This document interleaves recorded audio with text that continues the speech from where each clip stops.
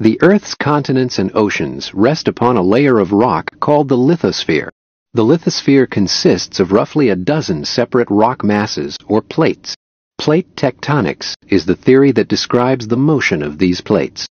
Beneath the lithosphere is the asthenosphere, a plastic layer of material that flows very slowly as it is heated from the mantle below. Some regions in the Earth's mantle are hotter than others. It rises.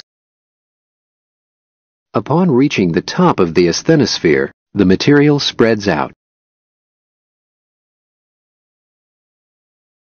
Plates of the lithosphere, riding on top of the moving material, move apart. If the heating occurs beneath an ocean, the Earth's crust is lifted up and forms an oceanic ridge. The ocean widens as new seafloor is produced. Material in the asthenosphere eventually cools, becoming more dense. It then sinks, carrying parts of the lithosphere with it. This process is known as subduction. As oceanic crust dives beneath continents, it melts, forming liquid rock or magma.